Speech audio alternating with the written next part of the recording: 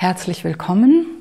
Wir wollen heute wieder über die Schönheit Gottes nachdenken. Das letzte Mal ging es darum, wie er als Charakter uns verändert, verwandelt und heute wollen wir über die Umgebung sprechen, in die er uns gerne hineingesetzt hätte und hat.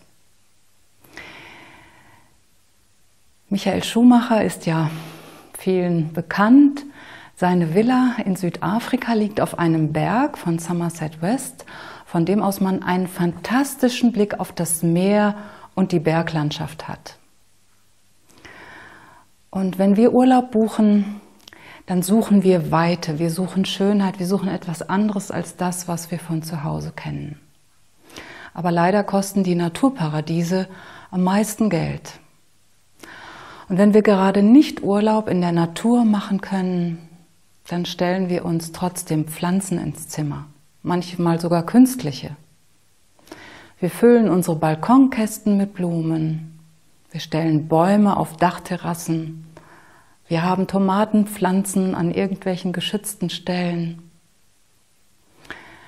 Wir haben Tischdekorationen, die auch fast immer aus Blumen bestehen.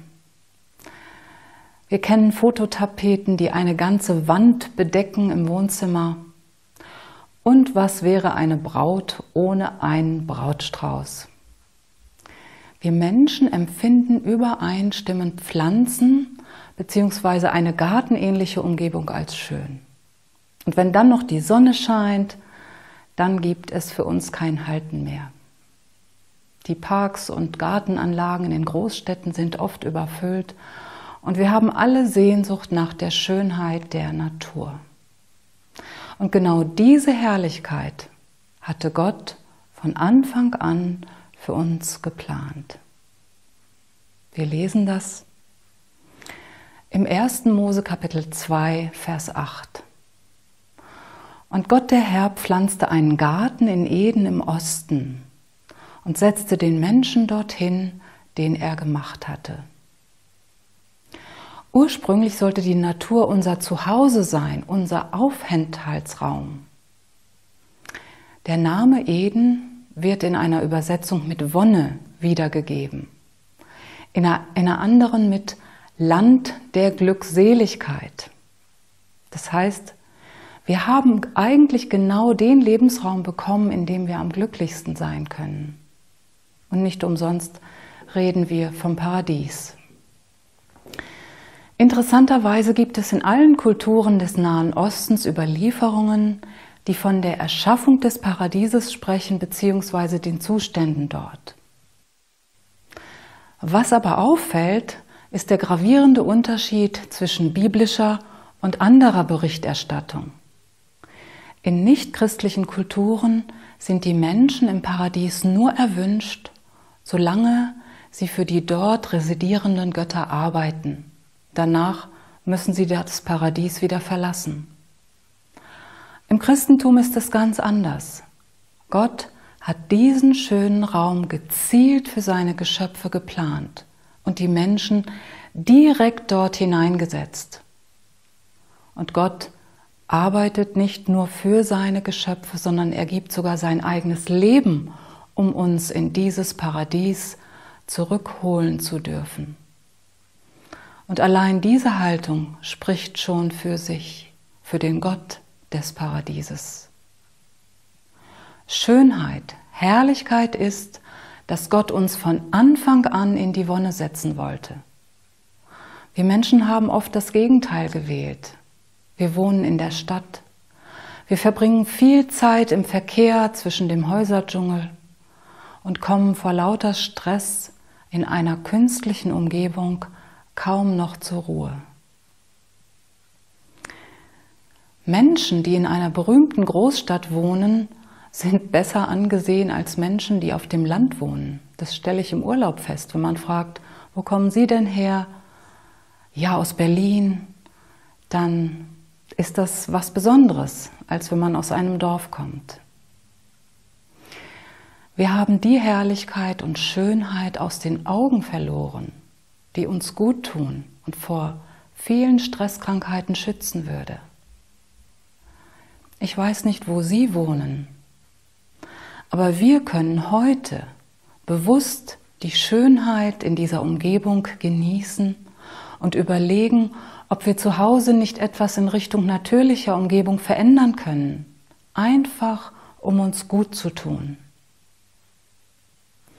Interessant ist auch, dass es eigentlich so gedacht war, dass Menschen in und mit der Natur arbeiten, dass wir sehen und ernten, dass wir uns freuen, wenn etwas aus der Erde kommt und wächst, dass wir davon essen und genießen und dankbar sind dafür, wie Gott für uns vorgesorgt hat.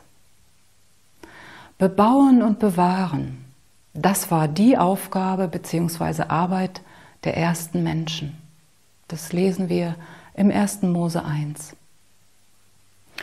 Eine ältere Dame sagte mal zu mir, wenn ich nur in meinem Garten arbeiten kann, dann bin ich zufrieden.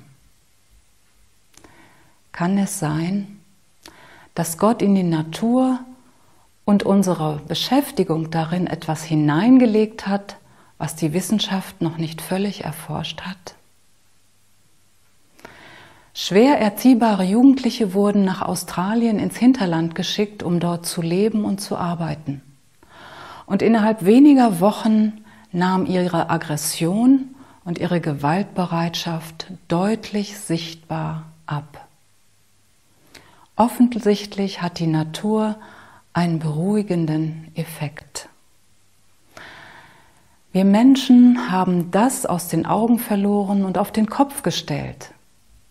Auf unserer Werteskala rangieren Bauern oder Gärtner im Gegensatz zu Managern und Börsenmaklern auf der untersten Stufe.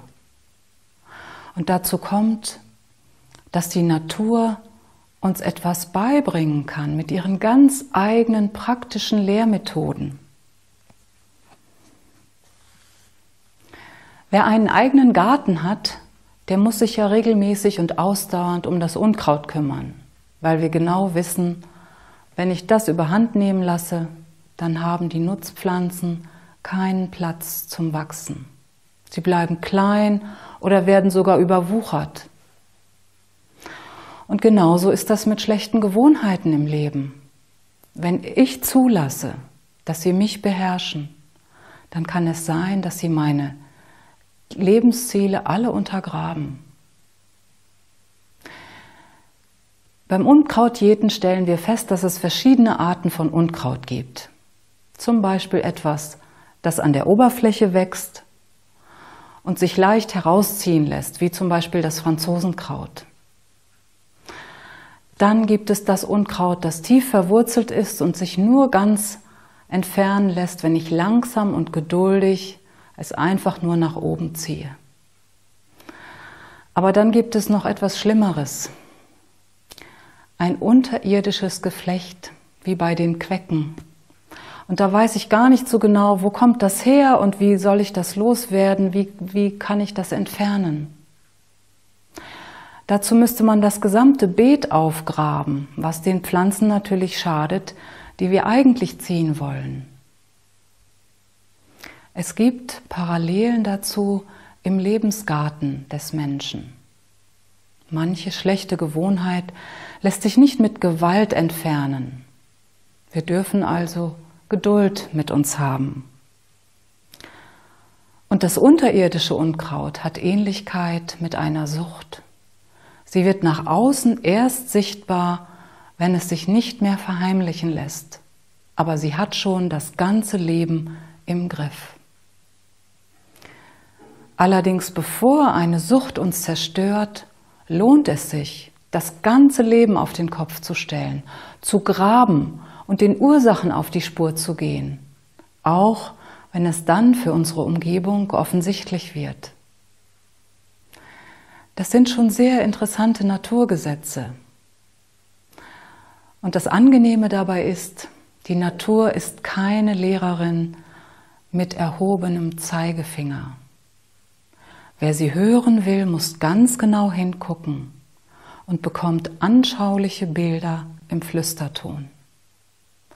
Zum Beispiel auch dafür, wie wir uns gut behandeln können. Jede Pflanze hat so ihre Zeit, in der sie pikiert oder umgesetzt werden kann. und andere Zeiten, in denen sie das nicht oder nur mit Beeinträchtigung überlebt. Was bedeutet das? Menschen, gerade auch kleine Menschen, also Kinder, sind in ihrer Umgebung schon so verwurzelt, dass man einen Wechsel sehr gut vorbereiten muss, wenn er gelingen soll. Wir sind nicht immer so mitfühlend und sorgfältig mit uns und anderen. Ist es nicht schön, dass wir sogar Beziehungstipps durch die Natur bekommen? Wir haben eine Schönheit, eine Herrlichkeit aufgegeben, die uns so gut tun würde. Wollen wir diese Schönheit nicht wieder in unser Leben hineinnehmen? Ganz praktisch. Und wenn wir keinen eigenen Garten haben, dann könnten wir einem Nachbarn anbieten, unentgeltlich in seinem Garten zu arbeiten. Oder wir könnten einen Schrebergarten pachten. Oder zumindest Balkonkästen anpflanzen. Es gibt so viele Möglichkeiten.